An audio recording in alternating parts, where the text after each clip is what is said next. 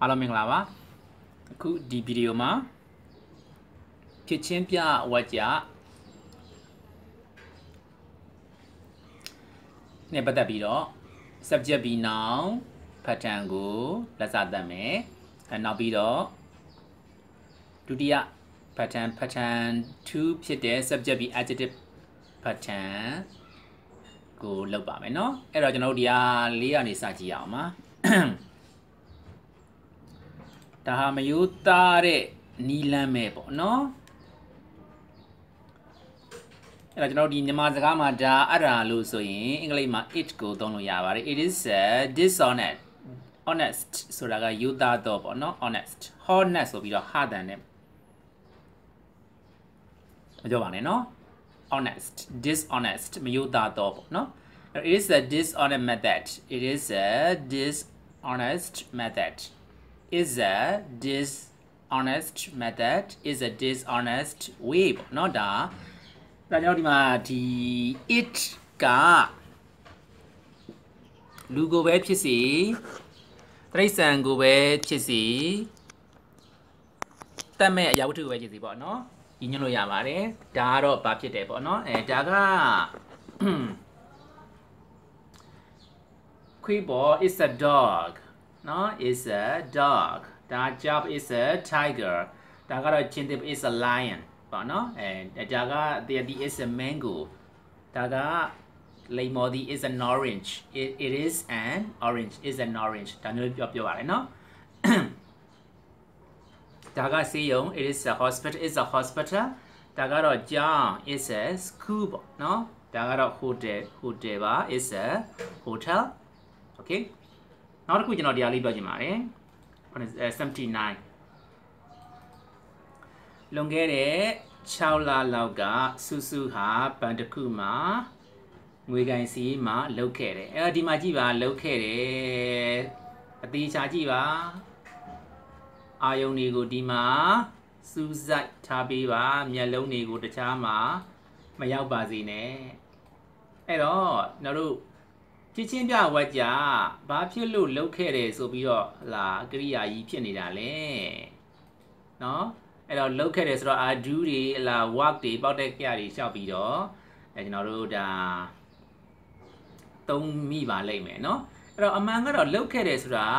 ဖြစ်ခဲ့တယ်လို့ဆိုတာပါပဲနော်ဖြစ်ခဲ့တယ်လို့ပြောတာပါပဲအဲ့တော့ဒါကိုနားလည်အောင်အဲ့ကျွန်တော်ပြောတာကဟို ဖြစ်သည်ပါမှဖြစ်ချင်းပြမထင်နဲ့ဆိုတာဖြစ်သည်ပါခြင်းလဲပါမယ်ပါခြင်းလဲမပါဘူးနောက်တစ်ခုအခုလှုပ်ခဲ့တယ်လို့ပါတဲ့အတွက်ပြုချင်းပြဝက်ကြလာဆိုတာမဟုတ်ပါဘူးเนาะဒါကတကယ်တမ်းကျတော့ဖြစ်ချင်းပြဝက်ကြပါဒါမှမလို့အဲဒီဥစ္စာကိုပဲပြုချင်းပြဝက်ကြအနေနဲ့လေရေးလို့ရပါတယ်ပြီးရင်ပြကြအောင်မယ်အဲ့တော့စုစုဟာငွေကိုင်စီးမှတယောက်ဒီမှာတယောက်လည်းမပါဘူးเนาะအဲ့တော့ဒီဥစ္စာက ဖြစ်ချင်းပြဝက်ကြဖြစ်တဲ့အတွက်သူ့ရဲ့ sentence pattern subject be noun ဆိုတဲ့ pattern အတိုင်းပဲသွားမယ်အဲ့တော့စုစုပေါ့စုစုအရင်တုန်းကဖြစ်ခဲ့တာ was ဝါသုံးရမှာဆိုတော့စုစုဟာ singular subject ဖြစ်ပါတယ်အဲ့တော့ was နဲ့တွေ့တယ်စုစု was ပြီးတော့ငွေကိုင်စီမှဆိုတာ cashier အဲ့တော့အဲအများအပြည့်ကက်ရှာကက်ရှာဆိုပြီးတော့အလဲပြောကြတယ်เนาะမဟုတ်ပါဘူးเนาะ cashier cashier အဲ့တော့ဒီမှာအတန်မဟုတ်တဲ့အတွက် A နဲ့တွေ့မယ်ဒါဆူဆူ was a cashier ဆူဆူ was a cashier ဘန်တခုမှာ in a bank in a bank လွန်ခဲ့တဲ့6လလောက်က about 6 months ago about 6 months ago အဲ့တော့ဒီ most ဒီဥစ္စာမှာဒီဝါကြမှာဆိုလို့ကျွန်တော်တို့ဒီမှာ အဲဒီ subject b complement ပြီးရင် in a bank ဆိုတဲ့နေရာပြ place ပါတယ်နောက်တစ်ခု about 6 months ago ဆိုတဲ့အချိန်ပြပါတယ်ဒီလာဖြစ်ချင်းပြဝက်ကြပုံစံအစိတ်ပိုင်းပေါ့နော်အကုန်လုံးပါလို့ပြောအောင်ပေါ့နော် okay အဲ့ဒီတော့အဲနောက်တစ်ခုကျွန်တော်ပြောရစီတာပါလဲဆိုတော့ဒီမှာ လွန်ခဲ့တဲ့6လလောက်ကဆိုတာကိုလည်းဘယ်လိုမျိုးမှားပြီးတော့ရေးကြတယ်เนาะ last six months ဆိုပြီးတော့เนาะဒါမျိုးတွေပေါ့เนาะ last six months ဆိုပြီးတော့လာ non ဒီမှားရေးတာမျိုးတွေရှိပါတယ် မှားပါတယ်เนาะ last month last 6 months ဆိုပြီးတော့မရေးရပါဘူး6 months ago လို့ပြောရတယ်เนาะ6 months လွန်ခဲ့တဲ့6လဆိုတာ6 months ago ပေါ့6လလောက်ကဆိုတာ about 6 months ago ပေါ့เนาะဟုတ်ပြီ အဲနောက်တစ်ခုကျွန်တော်ပြောချင်တာကဘာလဲလို့ဆိုတော့ဒီဥစ္စာကိုဖြစ်ချင်းပြ sorry ပြူရှင်းပြဝက်ကြအနေနဲ့လေရေးလို့ရတယ်ဘလို့လဲဆိုတော့စုစုဟာအလုတ်လုတ်ခဲ့တယ် sorry စုစု worked နော်ဝီကိုင်စီမှာတယောက်အနေနဲ့ as a cashier in a bank about 6 months ago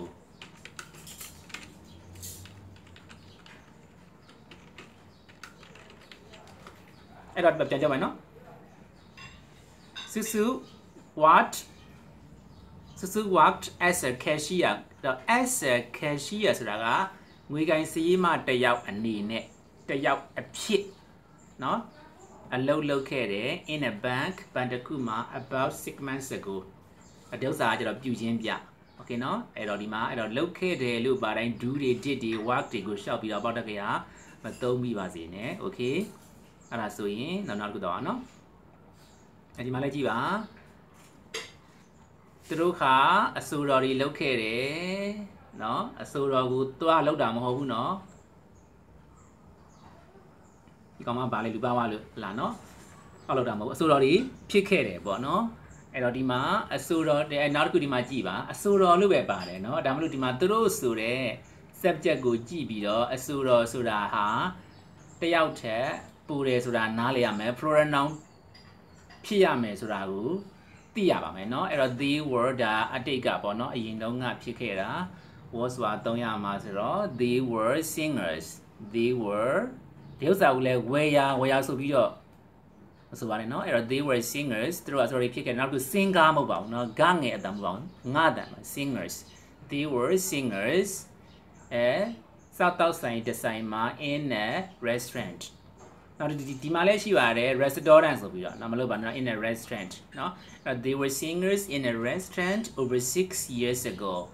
ဥပါလွန်ခဲ့တဲ့6နှစ်ကျော်က over 6 years ago they were singers in a restaurant over 6 years ago okay နောက်တစ်ခုအဲသူကကုမ္ပဏီတစ်ခုမှာစည်ရင်းကိုင်လုပ်နေတာအဲဒီမှာလည်းလုပ်နေတာပေါ့ဆိုတာ doing တို့နနက်တို့ပိန်နေတို့ working တို့ weekend တို့လားနော်မလုပ်မိပါစေနဲ့စည်ရင်းကိုင်ဖြစ်နေတယ်ဖြစ်တယ်လို့ပြောတာပါပဲဖြစ်ချင်းပြဝတ်ကြပါပဲအဲ့တော့တမယိုးကြဟလာနော်နီးအတိုင်း ပြောရင်တော့သူသည်ကုမ္ပဏီတစ်ခုတွင်စရင်ကင်တယောက်ဖြစ်ပါသည်ပေါ့ဟလားအဲသူဆိုတော့ဗာလဲဟီဆိုတော့အသေးရောဟလားเนาะဒီမှာပြောချင်တာကမိန်းကလေးကိုပြောချင်တာဖြစ်ပါတယ်အဲ့တော့ဟိုရှီကိုရှီဆိုတိုင်းလဲသူမဆိုတာကြီးမလုပ်ပါနဲ့เนาะအဲเนาะအဲ့တော့မြန်မာစကားမှာကယောက်ျားလေးမိန်းကလေးရဲ့နန်စားကိုသူလို့ပဲသုံးပါတယ်သူမလို့မသုံးပါဘူးဒါမှလို့အလားเนาะ အပြင်မှာတော့စာမာရောအပြင်စကားပြောမှာရောသူမဆိုတာကြီးကိုတော်တော်လေးတုံနေပါတယ်စင်ကြားတာအဆင်မပြေပါဘူးထားပါတရားတွေကနော်အဲ့တော့သူကဖြစ်တယ် she is သူဖြစ်တယ်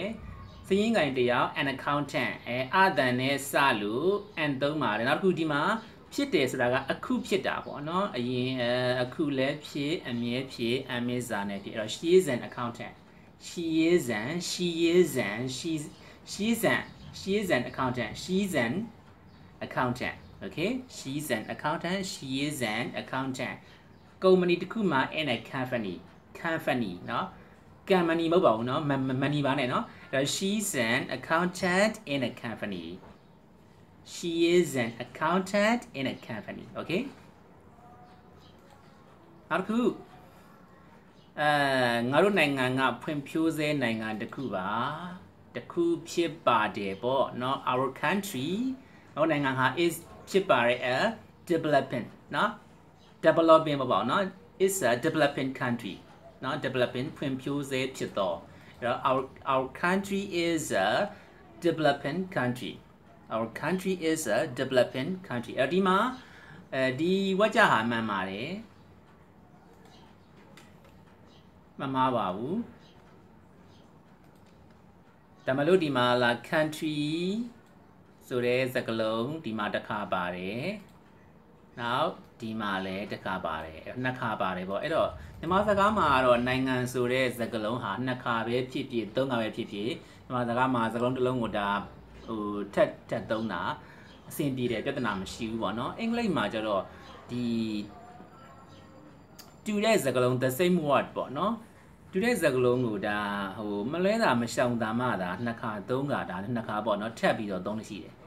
တကယ်လို့ဒီစကားလုံးရဲ့အစားပေါ့နော် pronoun ပေါ့နော်အစားသုံးလို့ရတယ်ဆိုရင်အဲ့ဒီစကားလုံးရဲ့အစားကိုပြန်ပြီးတော့သုံးလို့ရှိပါတယ်ဆိုလိုတာကစကားလုံးတစ်လုံးကိုဒါ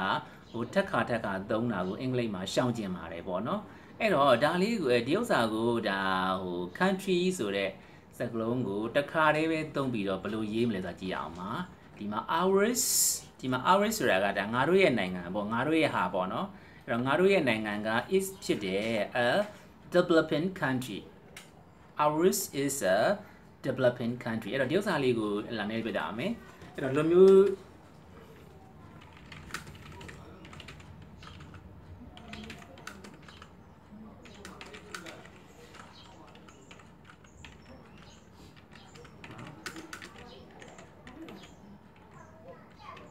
ကဲဒီမှာ country ကိုဖြုတ်လိုက်မယ်ဆိုလို့ရှိရင်ဒါကြီးအတိတ်ပဲမရှိဘူးနောက်က country ကိုဖြုတ်လိုက်မယ်ပေါ့နော် our country is a developing ဆိုရင်ဒါကဟိုလက်ပဲမရှိဘူးဟုတ်ပြီအဲ့ဒါလို့ရှိရင်ချစ်ရဟာကိုဖြုတ်ကြည့်မယ်ပေါ့နော် our is a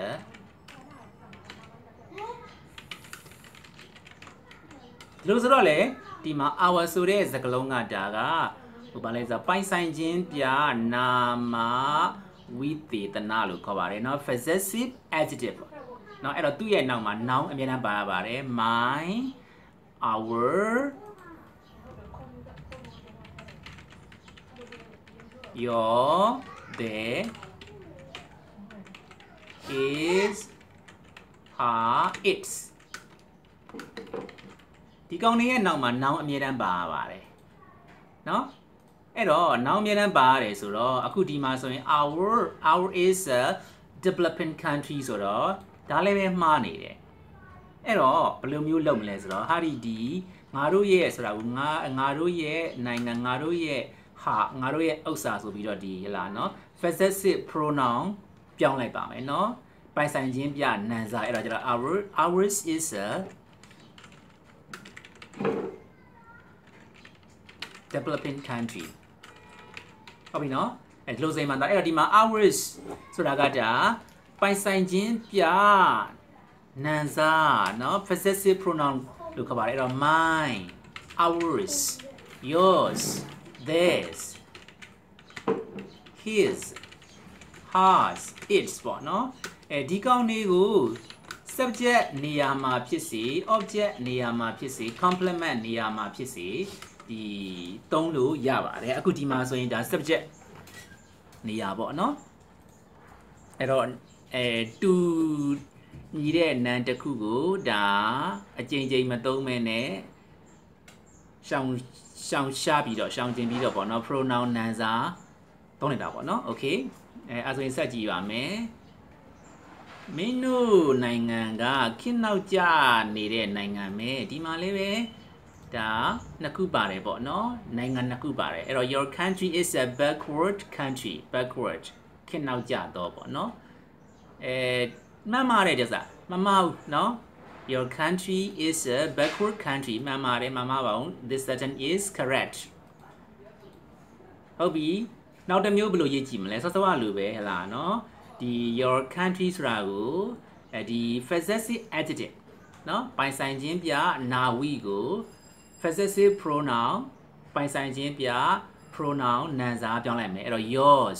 yours is a backward country နောက်က country ကိုတော့ဖြုတ်လို့မရဘူးလေနော်နောက်က country ကိုတော့ဖြုတ်ဖြုတ်လို့အဆင်မပြေအဲ့တော့ရှေ့ရဟာကိုဖြုတ်ပြီးတော့မှနာမ်စာပြောင်းနေပေါ့နော်အဲ့တော့ yours is a backward country okay နောက်တစ်ခုကြတော့အဲသူတို့မြို့လေးကတဲ့အေချမ်းတာယာပြီးဖွံ့ဖြိုးတဲ့မြို့လေးပါသစဝလူပဲ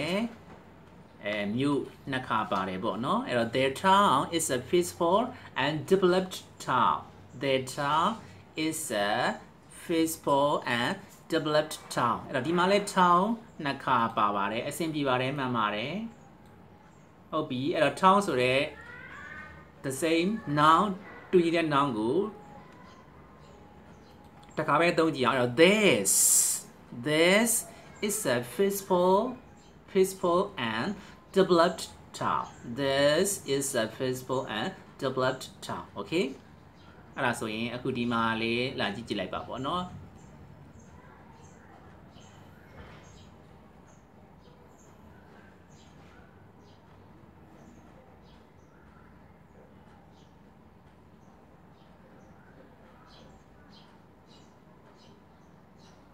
okay အဲ့ဒါဆိုရင်တော့အခုကျွန်တော်တို့ဟိုပါပေါ့နော် subject ပြီး adjective pattern ကိုလေ့လာပါမယ်ဒီမှာတော့ကျွန်တော်ကခက်ခဲတဲ့ဝါကျဒီလိုပဲဟလာနော်ကြည့်ကြည့်မယ်ပေါ့နော်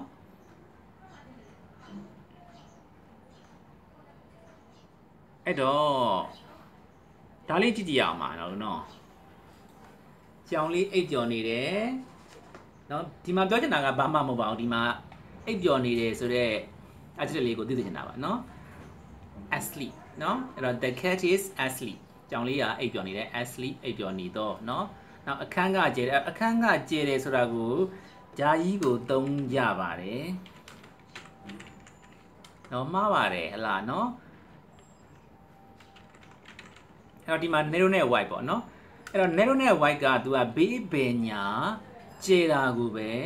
သုံးလို့ရပါတယ်ဘေးပင်ညာဆိုတာဘာတွေဖြစ်မလဲဆိုတော့ဆိုပါစို့ဟလားနော် အဲလမ်းတွေတို့နော်တရားတွေတို့နောက်ပြီးတော့ဂိတ်ပေါက်တွေတို့ပြီးရင်မြစ်တွေတို့ပေါ့နော်ဒါတွေဒီဒါဘေးပင်ညာကျဲတာပေါ့နော်အဲ့လိုပေါ့နော် area တစ်ခုအနေနဲ့နော်အလားစက်ဝိုင်းပုံပဲဖြစ်စီဒေးတောင်ပုံပဲဖြစ်စီအဲ့လို area အဝန်းအဝိုင်းနော် area အဝန်းအဝိုင်းကျဲတာကို wide နယ်လိုသုံးလို့မရပါဘူးနော်အဲ့တော့အခန်းဆိုတာဒါဒါ၄ဘက်၄တန်း area အဝန်းဝိုင်းပဲအဲ့တော့ဆိုလိုတာကဟို အဝိုင်းဖြစ်ဖြစ်၄တောင်ဖြစ်ဖြစ်ဘလို့ပုံစံပဲဖြစ်ဖြစ် area အဝန်းဝိုင်းဒါဖြစ်နေတယ်ဆိုရင်ဒီ white narrow ကိုသုံးလို့မရပါဘူးအဲ့တော့ဘာသုံးမလဲဆိုတော့ big ကျဲတယ်ဆိုရင် big သို့မဟုတ် large เนาะကျင်းတယ်ဆိုရင် small ကိုသုံးပါတယ် okay เนาะအဲ့တော့အခန်းကကျဲတယ်ဆိုတော့ the room is big the room is large okay နောက်တစ်ခုဒီမှာပေါ့နော်တိုက်ခန်းကလာကျင်းတယ် the uh, the flat is very small အဒီမှာအခန်းတိုက်ခန်းတို့ဘာလို့မှာဒီပါတာလေးကိုပြောချင်ပါတယ်ဒီမှာပြောချင်တာပြောစရာရှိတာဒီဒီပဲသူကြွားကြတွေကတော့ဘာမှခက်ခဲမဟုတ်เนาะ okay အဲ့တော့ဘာဖြစ်လို့ဒီတွေနဲ့ရေးထားလဲဒီမှာဆိုလို့ရှိရင်ကြည့်လိုက်ပေါ့เนาะအဲ the cat the room the flat တိုက်ခန်းပေါ့เนาะ the bridge the street ဆိုပြီးဒီလာเนาะဖြစ်နေတယ်ပေါ့เนาะအဲ့တော့အဲဘာဖြစ်လို့ဒီပါနေတယ်လဲဆိုတော့ဒါကအဲအရင်ဗီဒီယိုတစ်ခုမှာပြောခဲ့တယ်လို့ပဲ ကိုပြောခြင်းတဲ့လူတရိษံအရာဝတ္ထုနှစ်ဦးနှစ်ယောက်ဒီ speaker နဲ့ listener ပြောသူနဲ့နားထောင်သူနှစ်ဦးနှစ်ယောက်တီနားလေထားတဲ့လူတရိษံအရာဝတ္ထုတွေကိုဒီနဲ့တွဲပြောရပါတယ်အဲ့တော့ဒီမှာဆိုရင်ဒါ the bridge the bridge is narrow တရားကကျင်းတယ်ဒါဆိုလို့ရှိရင်အဲ့ဒီတရားဒီဒါ speaker နဲ့ listener နှစ်ယောက်လုံးတိထားတယ်တရား နောက်တစ်ခု the street is wide enough for the car wide enough ဒါ enough ဆိုတာကလုံလောက်တော့လုံလောက်စွာပေါ့နော်သူကဒီ adjective adverb ရဲ့နောက်မှာနေပါတယ်နော်ကြည့်မှာမနေပါဘူးနော်နောက်ဒီဥစ္စာကိုပြောတဲ့ခါမှာလဲအနက်အနက်ဆိုပြီးတော့အလားနော်အလွယ်တကူမစောနဲ့ enough နော် foul ထုတ်တန်နဲ့လာနော် fa တန်ဒီအောင်နခနဲ့ပေါ်တာထိပါတယ်နော် enough the street is wide enough the street is wide enough wide enough အဲ့တော့လမ်းဟာလုံလောက်စွာကျယ်တယ် for the car ဆိုတာကတော့ကားတစ်စီးပေါ့နော်အဲဝင်ထွက်သွားလာလို့ရတဲ့အနေအထားအထိအတိုင်းအတာအထိကျယ်တယ်လို့ပြောတာပေါ့နော် the street is wide enough for the car နော်ဒါက speaker နဲ့ listener နှစ်ဖက်စလုံးသိထားတဲ့လမ်းနော်နော် အဲဒီမှာကျတော့ဒီပန်းသီးတွေဒီမှာလည်းဒီပန်းသီးတွေ the offer is uh, very sweet နော်ပန်းသီးတွေကချိုလိုက်တာပေါ့နော်ဒီမှာလဲဆောစောကလိုပဲ speaker listener နှစ်ဖက်စလုံးသိထားတဲ့ပန်းသီးနောက်တစ်ခုဒီမှာကျတော့ဒီလိမ်မော်သီးတွေ these oranges are sour နော် these oranges are sour ဒီလိမ်မော်သီးတွေကချင်းတယ်ပေါ့နော်အဲဟုတ်ပြီ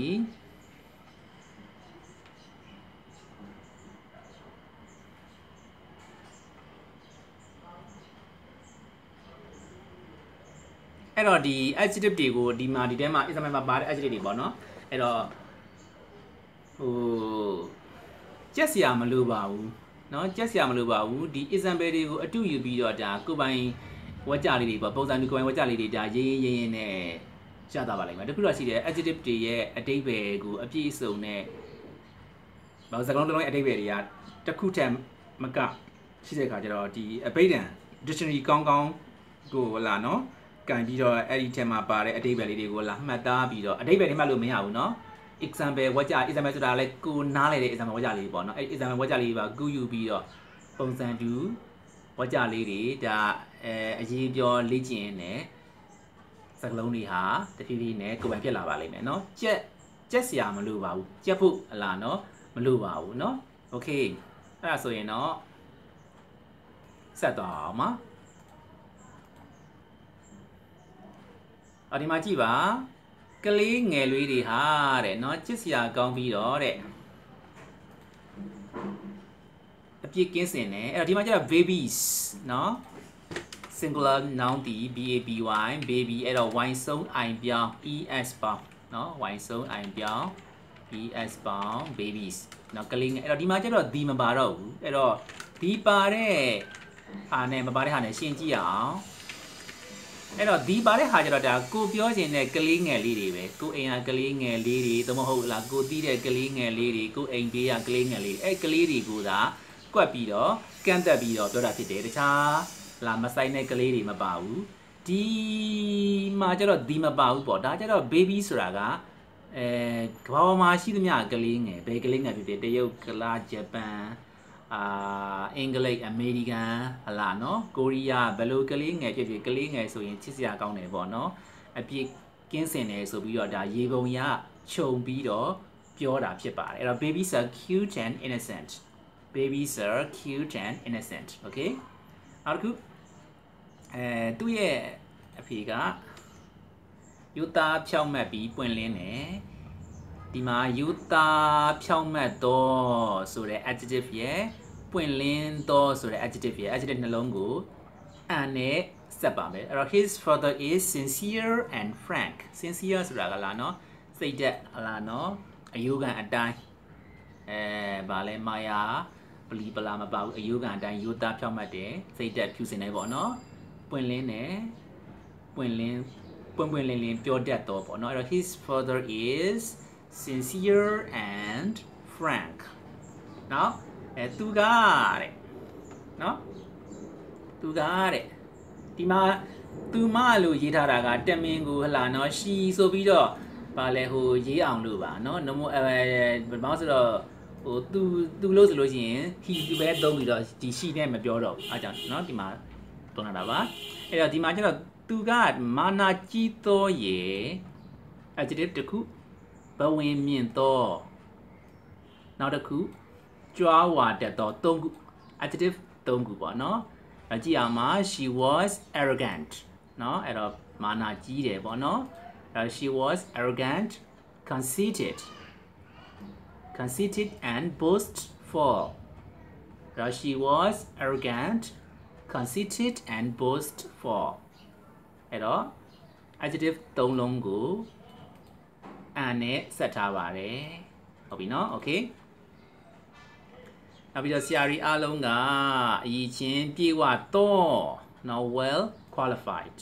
ပြီးရင်အတွေ့အကြုံရင့်ကျက်တော့เนาะ all the teachers are all the teachers are ဒီမှာဒီပါတယ်เนาะဒီပါရခြင်းကကိုပြောခြင်းနဲ့ဆရာအားလုံး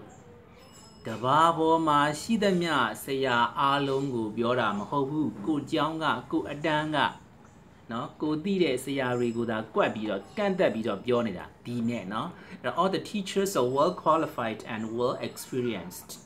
all the teachers are well qualified and well experienced okay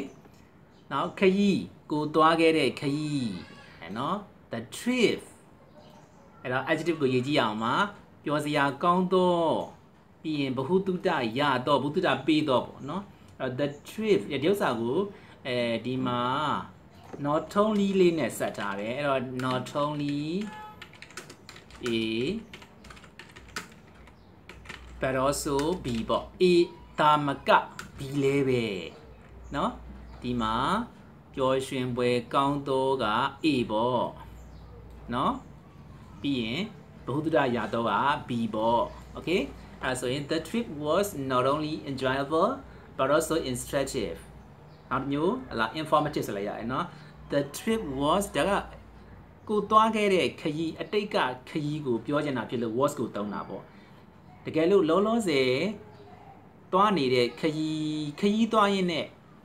ပြောတာဆိုရင်တော့ is ကိုသုံးလို့ရတယ် the trip is not only enjoyable but also instructive the trip is not only enjoyable but also informative ပေါ့เนาะ informative အဲ့တော့ဒါလေးကအလားမှတ်သားထားပါ okay ဒီဥစ္စာကို အာ as well as နဲ့ပြန်ပြီးရေးကြည့်ရအောင်เนาะ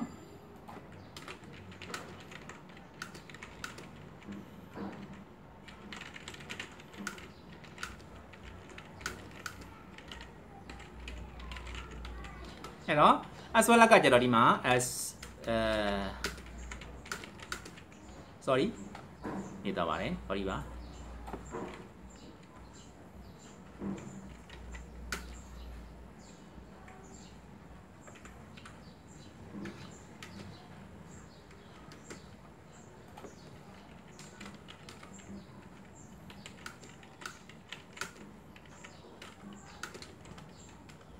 အဲ့တော့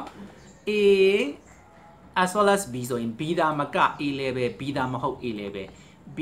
as well as A ဆိုရင် A ဒါမဟုတ် B level အဲ့တော့ the trip was informative as well as enjoyable အဲ့တော့ခရီးဟာပျော်စရာကောင်းတယ်လို့အတိပညာလည်းပေးပါတယ် the trip was informative as well as enjoyable okay အဲ့တော့ဒီ and no as well as to not only တော့ဒါ object တွေတို့ complement ဖြည့်ဆွက်စကားလုံးတွေတို့ဒါတွေကိုဟုတ်လား subject တွေတို့ object တွေတို့ဖြည့်ဆွက် complement ပုတ်တွေကိုဒါအဲဆက်သွယ်ပြီးတာပါเนาะ okay ကြည့်ကြည့်အောင်ပါဒီမှာဆိုရင်ဖုံထူတော့ပြီးတော့ရှွန့်ထူတော့เนาะအဲ့တော့ဒါမှဒီမှာဒီမှာဒီလိုမျိုးပြောမယ်เนาะနွေရာသီမှာဖုံထူမိုးရာသီမှာရှွန့်ထူအဲ့တော့ the streets are dusty in summer the, the streets are dusty in summer and muddy in the rainy season เนาะအဲ့တော့ဒီမှာဟို dusty က in summer မှာဖြစ်နေရမယ်เนาะ muddy ကကြတော့မိုးရာသီမှာဖြစ်နေရမယ်เนาะဒါဒါเนาะအဲ့တော့ the streets are dusty in summer and muddy in the rainy season နောက်တစ်ခု the weather was fine yesterday yesterday yesterday ဖြစ်ပါတယ်เนาะ yesterday အဲ့တော့ဒီမှာလဲ ရာသီဥတုတာယာတာကို fine အပြင်ရှိပါတယ်နော် pleasant တို့ wonderful တော့နောက်ခုပါလဲ beautiful တော့နော်အဲနောက်ပြီးတော့အခန်းကကျယ်ဝန်းသော adjective တလုံး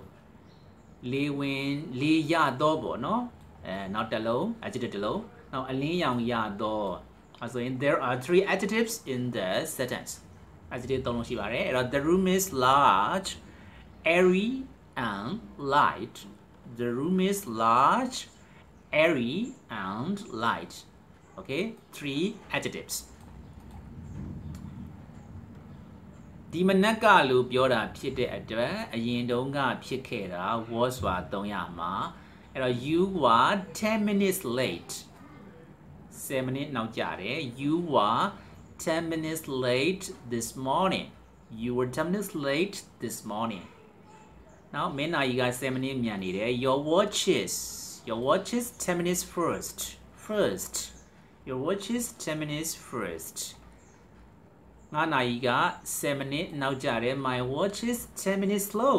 အဲ့တော့ဒီမှာနောက်ကျတာကို late ကိုသုံးလို့မရပါဘူးဒီမှာနောက်ကျတယ်ဆိုတာကနာရီပေါ့နော်နာရီအချိန်နောက်ကျတာကို late ကိုသုံးလေမရှိပါဘူး slow ကိုသုံးပါတယ် my watch is 10 minutes slow okay နောက်တစ်ခုမင်းနာရီအချိန်မှန်သလားဒါကကျတော့မေကွန်းဖြစ်ပါတယ်အဲ့တော့ B ကိုရှေ့ထုတ်မေကွန်းလုံးအဲ့တော့နည်းနည်းလေးပြောပြပါမယ်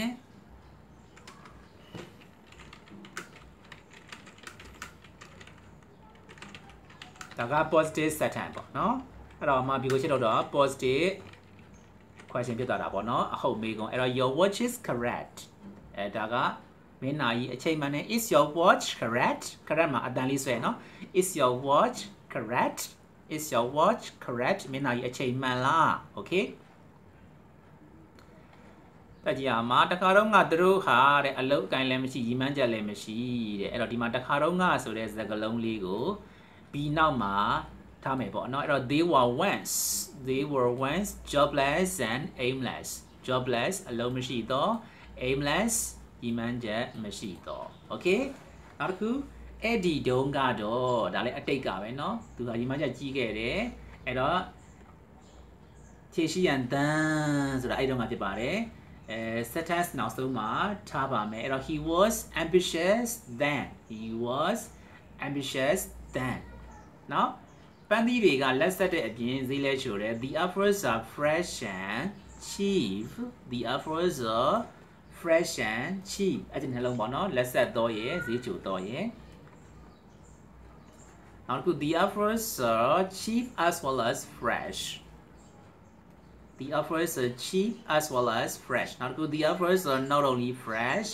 but also cheap okay okay